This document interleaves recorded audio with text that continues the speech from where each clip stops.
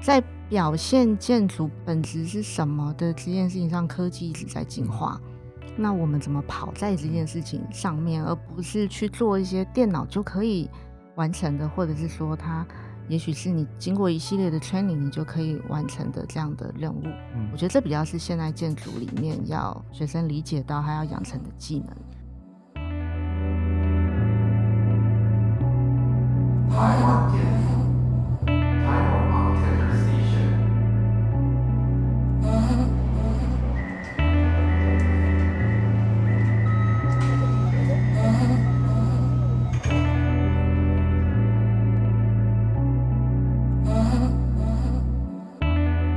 大家好，欢迎收听建筑家 Podcast。建筑家 Podcast 从今年四月开始至播出至今已经三十集以上，谢谢大家每一周的收听。我相信你会收听这个频道，应该是十足的热爱建筑、景观跟都市的议题。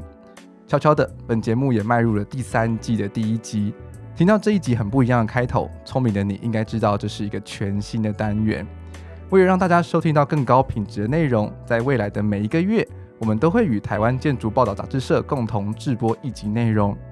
这个单元会带你看到杂志专题的幕后。邀请当期的编辑、客座编辑或是当事人，来让你听见建筑圈不可不知的事情。而十一月号的台湾建筑杂志的主题是 “Form Follows Question”，二零二零大学建筑系的毕业设计特辑。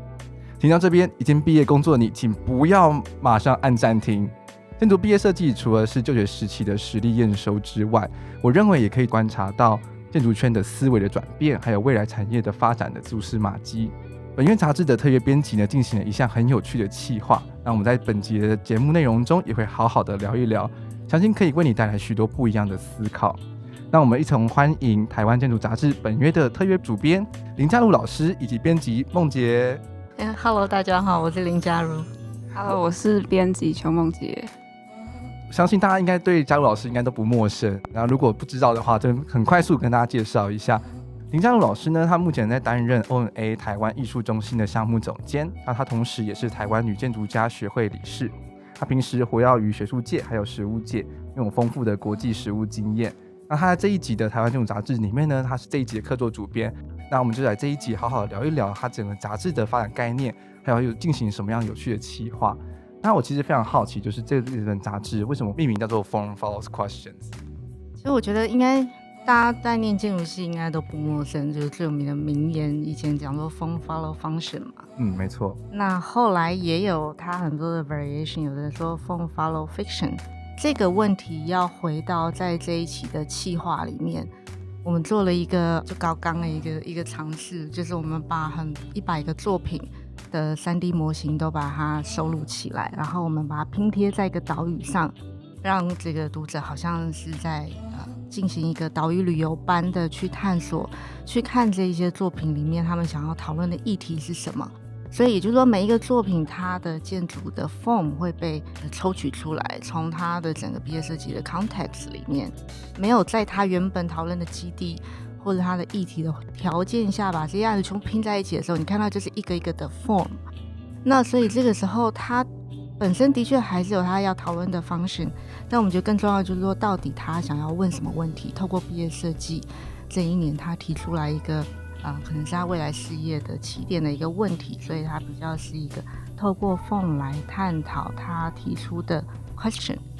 就是想说透过这样的计划来看看到底，哎，把它拼起来，我们会看出一个什么大灾问来。刚刚其实，在录音之前有跟老师聊到，他说其实台湾建筑系、空间系这样大概有五十几间嘛，有挂建筑系的，当然有一些是呃研究所啊，就是或者是说他没名字没有建筑，但是他毕业的时候也是做一个建筑设计的这个呃提案，嗯，大概有二十四间。那如果你想象每个学校有五十个人毕业的话。一年台湾就要产出一千两百个案子，这其实蛮惊人的。对啊，我相信台湾可能每年完工的案子都没有到一千两百 件这么大大量。的确，的确，建造量都没有那么多。对啊，呃，建造量有超过这么多啦，但是你知道台北是一个月可能就只有十几件、二十几件而已。对，所以其实真的是学生的那个创作的那个产能，其实真的是非常的丰富的。那这个计划，我觉得它的命名也非常的特别，它叫做 Mind Collage City。嘉如老师就提到是说，他是把每个作品的部分把它抽离了它的基地条件、基地的位置，然后把它拼贴在一个虚拟的道路上面。我听到是说，这原本在计划执行的时候，其实想要把它变成数位化的呈现嘛，这是一个更大的 project 要去来做这件这个计划。对，怎么就笑起来就是一个很天真的，因为我觉得它的起源是呃，因为这是我第二年编这个呃台建的毕业设计企划这个特辑的企划，那我觉得大概从去年开始，我就比较希望说它不是单独的。报道一些优秀的作品而已，而是透过这个企划，我们可以有一个横切面来看到一个群像，也就是说，现在台湾的建筑系呃年轻世代他们在毕业设计上面，他们到底关注的议题是什么？去年大概有一百七十六个案子，也是我那时候邀请了呃，后来邀请了九家的老师推荐了，大概每学每间学校差不多二十几位的案子集合起来呈现的一个关键字的企划，就是说。在一百七十几个案子他们投进来，我请他们呃自己勾选关键字，然后我们后来从重复最，他可以复选，那从要重复最多的这些关键字开始再组合，就有点像我们的在那个啊 Instagram，对你有 hashtag，然后你透过 hashtag，你就可以跟不同的人呃串成一个平台，然后好像可以呃讲悄悄话啊，这种有一种隐性的线把他们连在一起。在去年做完那个计划之后，那到今年那个。那个黄朝梅老师又问我说：“要不要再编？”我想，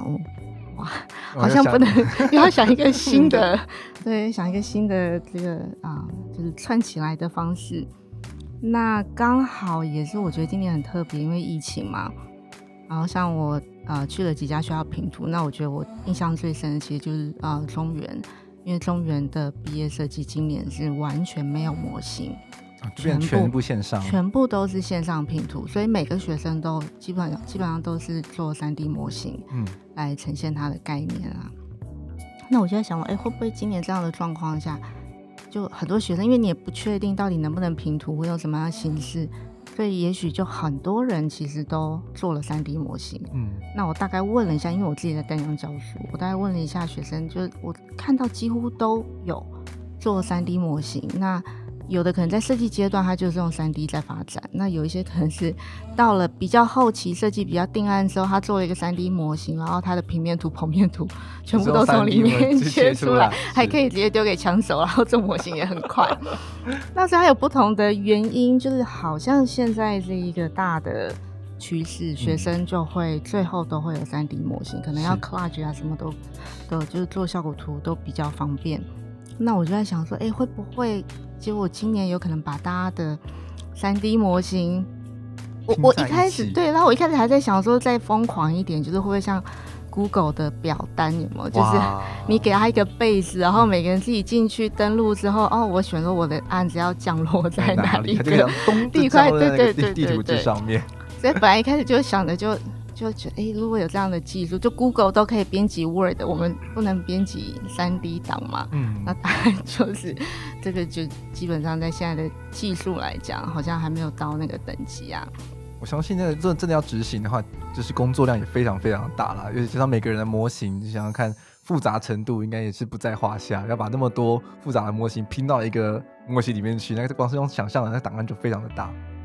我本来是希望大家自己去丢进去的，然后但是在一开始的时候，我们编辑团队有先试过啊，在四五个案子之后，他就说老师不行了，电脑电脑坏掉，我 已经等电脑等一个小时，他也不回。应，而且大家的三 D 档案都很大，然后很多很多的 detail，而且本来想说好嘛，那那没关系，我们把三 D 档案要过来，然后我们把它清一下，就是一些线啊，把它弄弄档案小一点，然后在三 D 的模型面。啊，拼起来之后，哎，搞不好我们就提供一个 Q R code，嗯，然后你扫进去之后，你就可以好像上 V R 这样进去里面看。后来发现这现在买是包扣的，想的太天真了。对，就是你基本上没有这样一个电脑可以 handle 这种事情。事情，然后到最后就变成你看到那个最土质的方式，就是我们先把大家的模型先印，就是。Print 它的 perspective，嗯，一个四十五度的透视角，然后把那个形状剪剪下来之后，再用纸把它贴到纸上面去。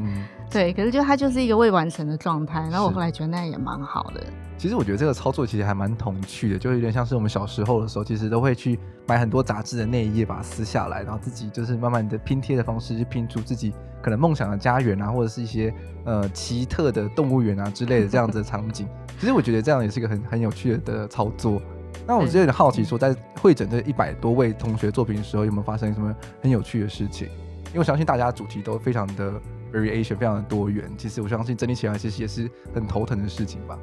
对，因为我觉得，当然我还是要感谢我，我其实是找了我的两个学生，他们都是今年毕业的，一个叫李念，一个叫罗国硕。那我那时候就说，哎，我要做这件事情，好像很有趣，你们要不要一起来？这样，所以后来是他们两个其实才是真正在执行这些编辑企划，譬如说要这些作品啊，然后还有整理这些三 D 档案。我觉得在过程当中，啊，我觉得比较有趣的是说。因为他开始会归类归档，就是什么样的案子，好像我们当当时的分类是先以这个啊，食衣住行娱乐，就你到一个城市去，你通常都要先看，哎，这城市地标是哪？我要去逛哪里呀？然后还有什么？我生病要去哪里看医生啊？我住宅在哪里？这样，所以大概就是用一个城市构成的这些基本的元素来做，请学生填分类，说他觉得他案子比较像哪一类的。但是在把这些案子整理到那个页面上之后啊，我们把它拼开来看的时候，就觉得好像有一种规律。譬如说，像讲自然的那几个案子，就就很有机，就是线都歪歪的，然 后都一条，就你有有点看不太出它到底从哪里开始，从哪里结束这样。那地标就是一颗很大啊，所以某个程度上面，这些案子在它呈现的 form。好像也跟一种就是现实上面会出现的一种，就同一个类型的他的案子，它好像就会呈现有点类似的 scale，嗯，或者是这种它的型的这种对话的关系，就这里面一定有这种疏漏部分。比如有的学生会觉得说，哎，我怎么被分类到这里来了？或者他觉得他比较像那里。那我觉得在过程中，它就是很多的随机跟 这个意外，然后最后拼完说，我们觉得这样可以，也可以，看起来有像旅游书，好像大家会想要去玩一玩，可以也可以了这样，然后就停了。这么多件作品之后，是不是有呈现出这台湾建筑教育是什么样的未来的方向？其实我觉得今年的计划，我觉得以方向来讲，就是你真的要知道大家在想什么，你还是要去细读。每个案子底下的那个小标语，嗯，跟他们的介绍。但是如果说真的以方向来讲，我觉得去年那一集可能更更直接一点，因为去年那一集的是用关键字是来做分类，所以在去年的关键字里面，你就会发现它有很多比较意外的，就是说，因为我们大概提供了九十个关键字给学生选，有一些是看起来有点类似的。那譬如说啊，可能有七个人选了生跟死。可是没有人选墓园哦，OK。然后啊，或者说有人选生态，但是他们都没有人选植物。那也就是说，你就开始在想象说，到底这些学生他在选关键字的时候，有一个倾向，就是他们会希望选选择关键字是比较抽象的，嗯，比较概念性的，而不是那么实际的。比如墓园就很实际，它就是一个 program。他的确在在讲个生跟死，可他们会觉得他不一定要用墓园来谈这个议题。嗯，那他要谈生态，他也不一定要透过植物来谈。嗯，然后所以在这个去年，比如最热门的像是是这个啊感知啊、时间、意识、情绪、经验，其实都是比较是那种感性，然后比较抽象的概念去操作这个毕业设计。对，那我觉得它其实是一个趋势，也就是说，我当时为什么想要做这个切片，是因为我觉得。当然，在这几年吧，我都不时不时有时候会看到有人在呃脸书上啊，或是一些建筑圈的朋友会说，我们都不晓得现在建筑系毕业生在干嘛，做了一大堆题目啊，都看不懂，到底是在做什么 program 也讲不清，也不讲清楚这样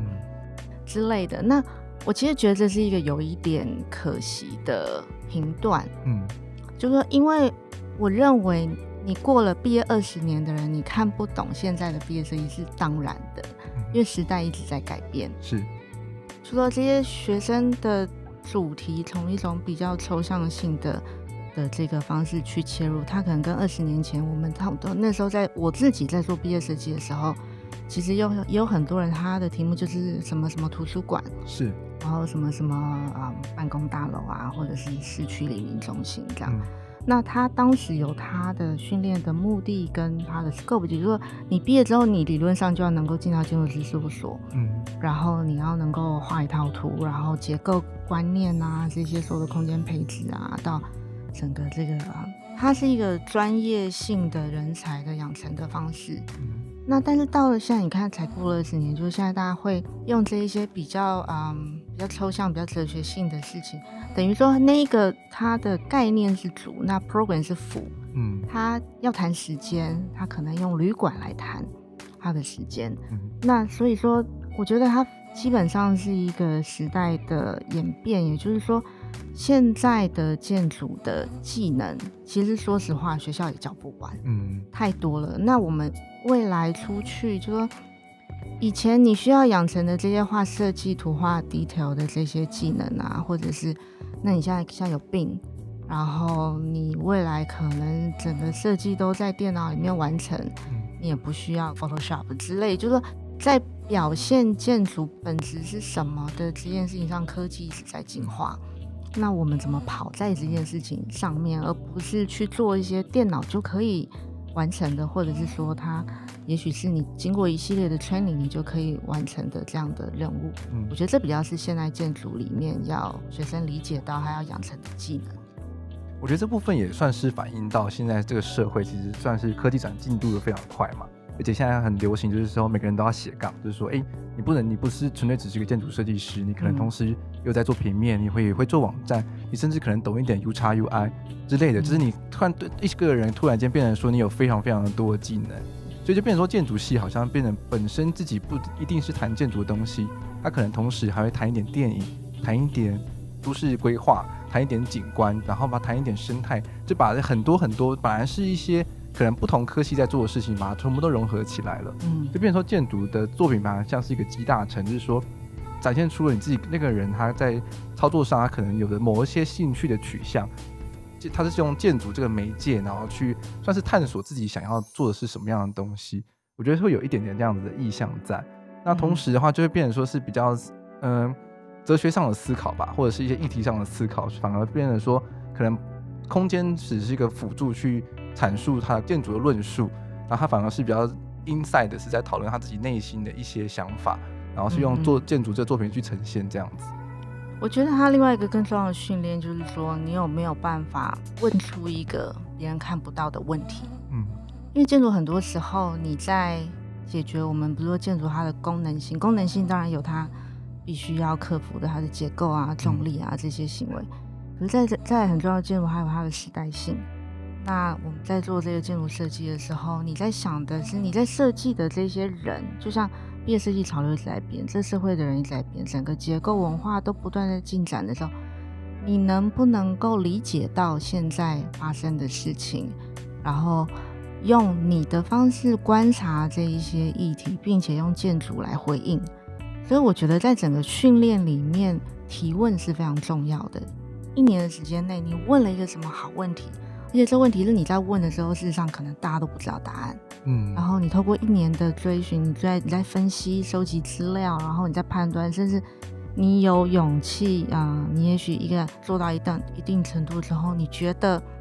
啊、你不会轻易翻案，但是如果有必要，你也可以翻案，或者说你可以调整你在论述的方式，让它更精简或是更纯粹。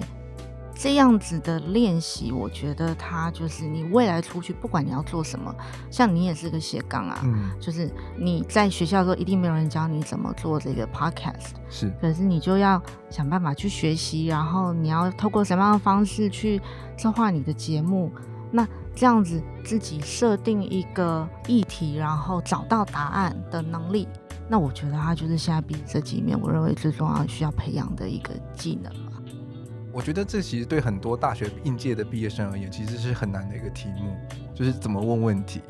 很多教育学家他们可能都会讲说，哎、台湾的学生不会问问题。这就其实你想到说，其实这是在选题上面，其实都是大家最困扰的地方。老师就是自己在教毕业设计的时候，会怎么样的去引导学生去做选题这部分的研究？通常像淡江的系统是学生他在大五的暑假的时候，他自己就要先想好他想要做什么样的议题，然后他带着他的议题去找老师，看谁哪一个老师愿意带他这样。那所以在最前面的时候，我觉得比较不像是说有学生来找我，然后我说：“哎，你去做这个吧。”这样，反而是倒过来，他跟我说他想做这个，然后觉得哎，这件事有点有趣。我也不太晓得他会变成什么样。那他如果能够提出他的问题，跟他想要切入的方式还没有答案，但他说我想要用这样的方式去讨论这样议题，我觉得这件事好听起来超级有趣的。那我就好，那我就带你。然后在过程当中，比较像是一个去 question 他，比如说他他今天说他研究了什么东西，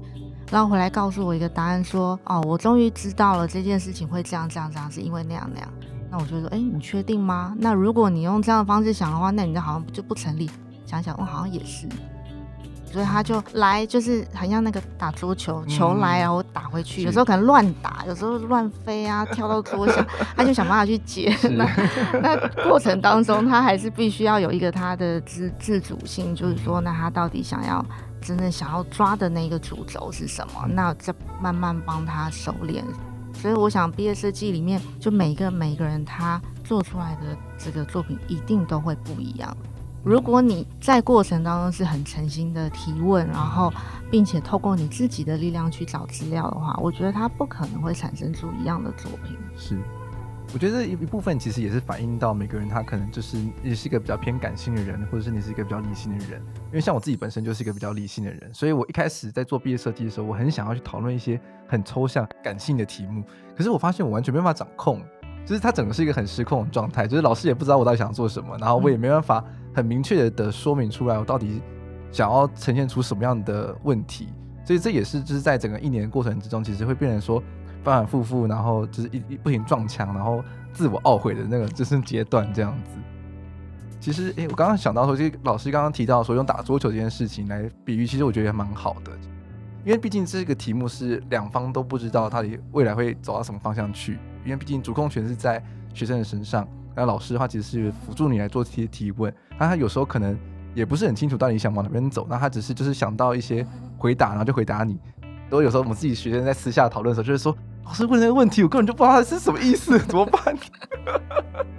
就拼图的时候也会发生这种事情，然后就是因为四五个拼图老师，然后都对你的题目或者你作品提出疑问嘛，然后就拼图完之后，然后就开始说，所以刚刚那到底发生什么事情？这种怀疑人生的状态。那我觉得如果有这样，应该是个好事啊。就如果你拼图完的时候。你发现有四个老师，然后四个老师都超级热切的要告诉你，他觉得你的案子应该是怎么样，但是方向都不太一样的时候，我觉得这时候你应该要骄傲，嗯，表示你的问题激发出了很多不同的想象。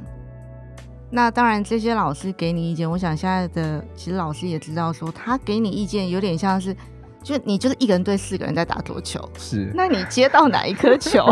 那个就是缘分嘛，那。那你有可能会有时候回去想一想，说，嗯，我好像本来是想这样做，可是那个老师那样讲，我觉得那样也好有趣哦。嗯，那我觉得就去试试看啊。我觉得毕业设计大概就绝对不会说你一个人坐在你的房小屋里面想一年，然后想出一个很棒的方案。它基本上就是在不断的讨论、脑力激荡，然后误读。我觉得我很常会。看到那种就是在拼图的时候啊，学生讲了一个他想要做的事情，然后老师可能回答他之后，我就觉得，哎，学生刚讲好像不是这个意思，可是老师觉得他是这个意思，然后老师就跟着就回应下去了。那我就觉得这样蛮好的。部分也是在训练学生自己本身的思辨能力嘛，就是你到底有没有办法够坚定的去做你想要做的题目，还是说你是被牵着鼻子走，然后就哎。就走就走歪了，这样。对对对，你就会发现，你可能被牵了鼻子走几次之后，你有时候会说，哎，我先跟 A 老师走。嗯。结果下一次评图的时候，A 老师又把你臭骂一顿。然后你就想啊，不是你上次叫我这样改的。是的，是。所以你最后就会发现，你还是要靠自己。这部分也真的是在做毕业设计的时候重要要培养的能力。就除了说你，就是你的图面一定要画的正确，你模型要做之外，其实你本身自己的思考其实也是很重要的一个部分。我有点好奇是说，就是在你这样观察之后，从去年那一本 Z 世代的建筑力就有一个古今对照嘛，就是现代大家在做的作品，然后跟早期老老师们做的作品，比如说就收收录了龚书章老师、郭旭元老师他们的作品。相比起来的话，现在学生在建筑毕业的技能上面会需要具备什么样的，嗯，算是要自我充实的能力？其实我觉得像去年编的那一集啊，它的确就是有两个大的主轴，刚刚讲了一个横向的切片。然后透过关键字来看，大概一百七十几个案子，它共同的这个世代关注的议题，或者是它会切入毕业设计的一个呃这个起点。那但是另外一个很重要的轴线其实是纵轴线，就是从时间轴来切下来。以现在的人会觉得，哦，以前毕业设计好无聊。比较早毕业的人会觉得现在学生都不知道在干嘛。那你如果这一条线切下去，你会看到什么？所以我那时候其实是从我自己当做一个主轴来切，因为龚书章老师其实是我毕业设计的指导老师。那再来他的毕业设计指导老师是张书老师。对，然后张书老师那时候带了龚书章跟郭旭元，然后还有像那个啊林有涵那时候是好像大二的时候给张书老师带的，他们都是东海。然后另外一个是啊，那时候也有收入啊周淑贤老师的毕业设计，那他是小我两年，然后也是给龚庄老师带到，所以我我其实本来是想要把张树老师的作品一起收进来，因为我觉得这样可以一次跨好几代这样，然后但是张树老师就非常客气的拒绝了我，然后他那次我们办的一个座谈会，他就分享他当年在东海带的这些学生的毕业设计作品，就看他们图画的真的超美。你就觉得哇，那个年代的学校，它很多都是手画的，或者它图那个图一贴出来，你就觉得那就是一个艺术品。它的线条粗细控制密度，就是有点讲实在话，我觉得现在很多学生 right now 切出来切出来的图，跟那个图放在一起，你你真的是不能比，因为那个图它每一条线都是有它的思考在里面。是我那个年代大家在交替，就是可能有些人用电脑画，有些人用手绘。可是，在龚老师他们那个年代都是手绘，所以你画那条线下去，你要想清楚，要不然你他们都是用什么针笔之类的，对，一画下去你要改的话是改不了的，你就整张图要重画了。对对对对对，就是他有可能他的毕业设计也就那几张图，嗯，可是那几张图里面蕴含着他们对于建筑的执着跟他的功力。是，那对比于我觉得现在的毕业设计。中间跳了一个，就是像我跟苏贤那个时代，我们那时候就差不多开始要进到议题式的这种思考。嗯，那所以那时候也会是谈议题啊，然后用这个建筑的 program，就建筑的整套平立跑这些都还是很需要。可是表现法就比较没有那么像现在的毕业设计啊，有些那个图看起来你也是觉得它的图好美，那但是它的图很美的背后，它很有可能在很短的时间之内可以制造出很多。很高品质的图面，但是如果它背后没有它那个讨论议题的深度撑起来的话，你就会觉得有点可惜。嗯，就是它的工具很多，可是它为了达到一种工具上表现出来的美感，最后也许就是它的呃 sense 很棒，然后做出来的这些图的效果啊都很棒。老师反而就比较不太会再去苛责，或是追问他说：“那你到底真正想要谈什么？”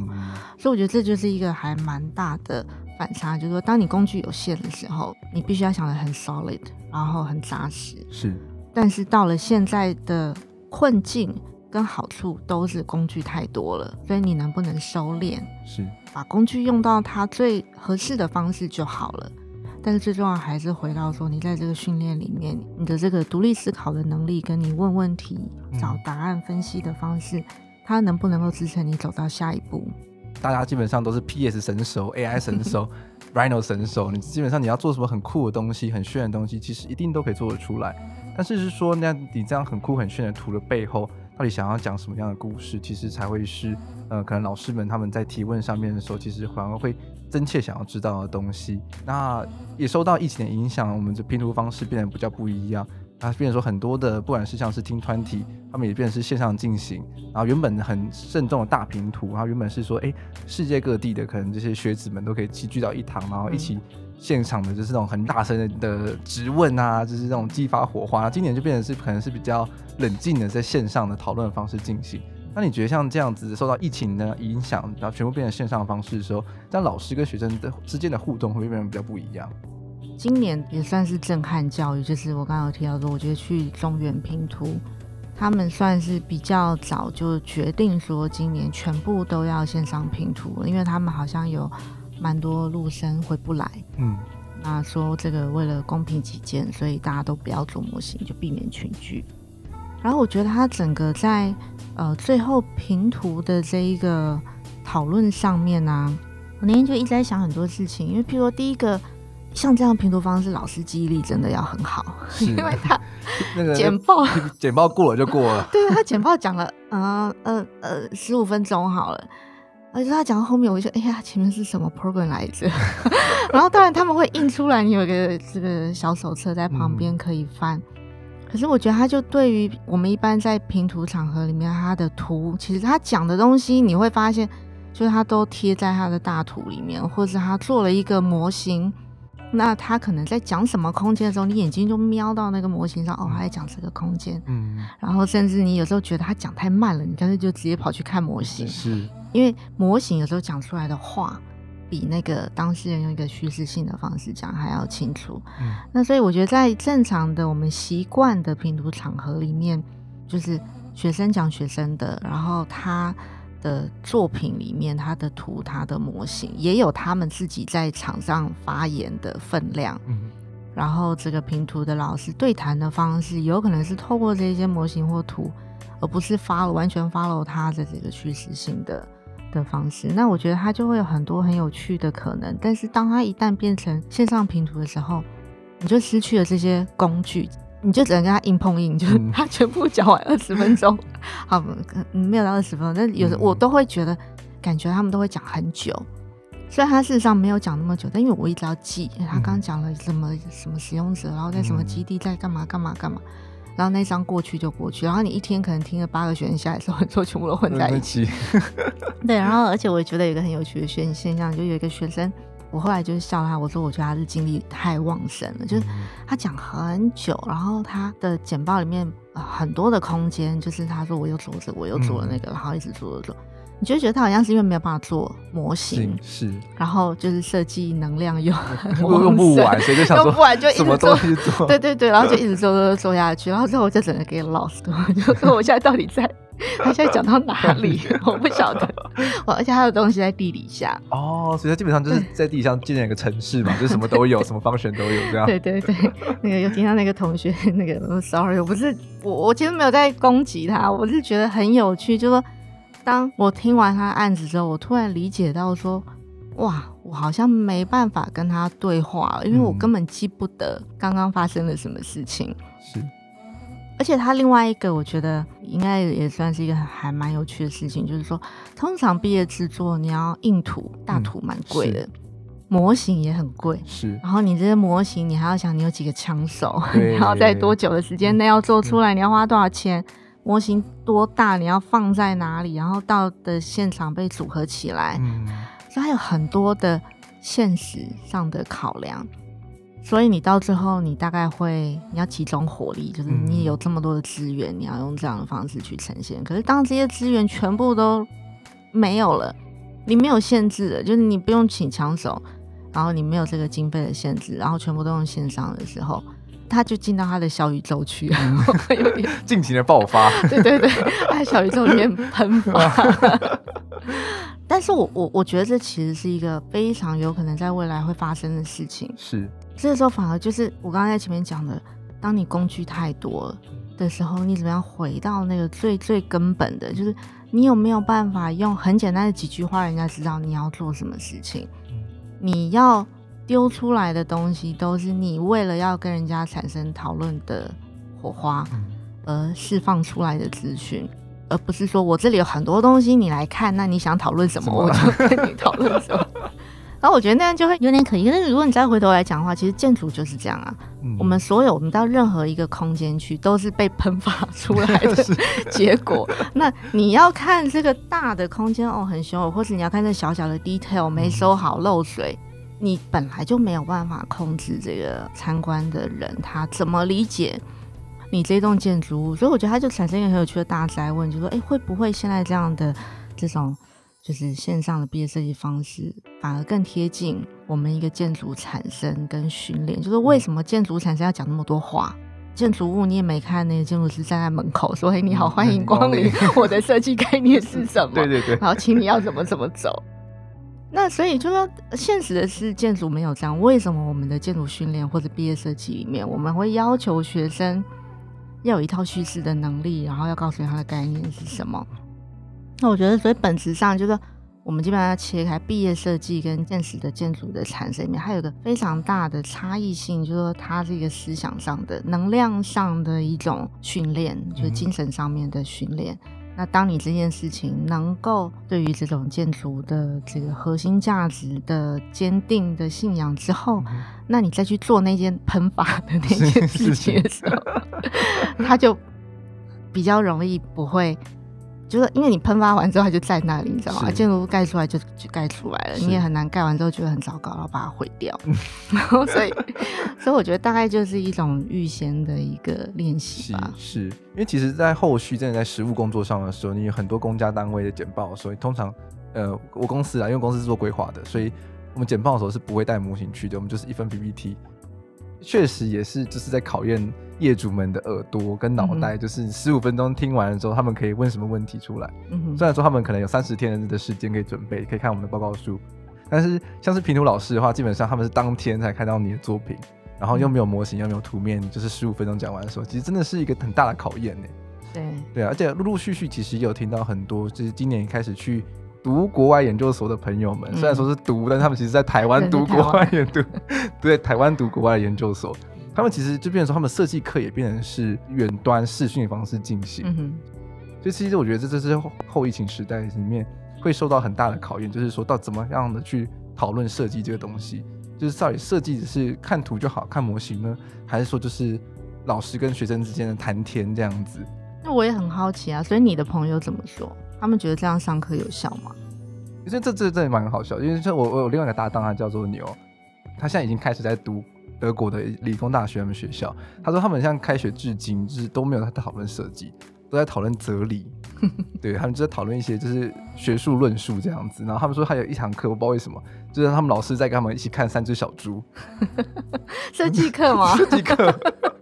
所以老师也在发挥创意呀，对对，要怎么挨过这个学期的时间？对，所以我就想说，哇，是这个设计课其实就变成说有更多更多很奇怪的发展，不是马上的进到一个空间讨论，而是反而是更多的对话时间去，算是磨合彼此嘛，也不是很确定他到底这样的操作未来会往什么方向。其实对老师对学生而言，其实全部都是一个全新的尝试。但是我真的觉得还是有差，像嗯，我这学期开始在交大上课，然后交大真的是有点远，所以我有时候跟学生讲说，那我们就一个礼拜上两两次课，一次上现场的，一次就有时候就线上这样。我觉得这样频率还好，也就是说你在现场讨论完之后，有些东西大家知道在讲什么，所以你下次上课在线上上的时候，那个效率是 OK 的。是，可是我觉得在。低年级来讲，就像我有朋友讲说，他们带那个一年级啊，然后那个时候中途有一段好像学校要求要线上上课，然后那真的是一个灾难，就你在透过镜头前面说，哎，你那个图的那个老师，你说哪一个图这个吗？然后那个那条线哪一条线这一条线吗？之后老师就精疲力尽的说，嗯，好，你做的还 OK 啦。就我觉得有时候设计是这样，就是你真的是两个人在一个空间，嗯，然后你可以直接面对面的直接拿起笔来画，说我在讲的是这件事，或者是你可以拿他的模型起来说我在讲的是这个空间。呃有的时候甚至你不是用言语沟通，我觉得是肢体语言。对对对。但是你如果说在一个啊，大家都已经在一个足够的专业的这个程度上，比如说高年级。那我觉得老师跟学生的沟通有一点距离，可至少你的语言的眼神是还可以共通的，或者你在讲什么东西，那一个，譬如说老师说很有感觉，然后这味道对了，那到底是什么味道？低年级的就会听得一头雾水。一头雾水，就说那老师你什么味道啊？这是你在煮麻辣锅吗？我没有闻到这样。对，所以就是这件事情，我觉得疫情它是一个不是我们自愿的，但是它很快速的、没有预期的翻转了很多我们习以为常的教学的方式。是，那所以这件事情，我不觉得疫情过后我们就会马上回到原本的状况。就是到底有没有一些是在这个期间我们碰撞出来的一种可能性？它也许就把教育又带到另外一个方向去，也不一定。说不定在未来之后，就变成每个人的三 D 模型都要建得很细的，每个人都要做可以 VR 眼镜或者 AR 眼镜可以看得到的东西。其实近几年有一些人的作品也会用这样的方式呈现，就是拼图的时候就给每个拼图老师一副那个 AR VR 的眼镜，然后就让你实境的方式带老师进去看他实际的空间。对对，有有，其实像这样子的研究也也是有学究，他本身就是在做这个。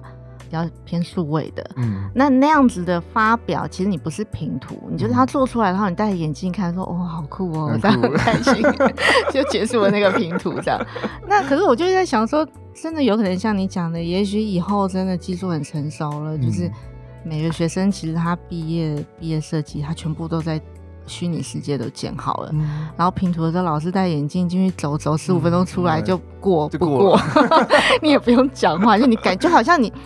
你好像是真的进到一栋建筑物，它被盖出来了。那你进去，你感觉是什么就什么。搞不好作者还不被允许讲话哦，这样子比较公平哦。对对对，就是就变成说，真的这是一个使用者体验的分享会这样子。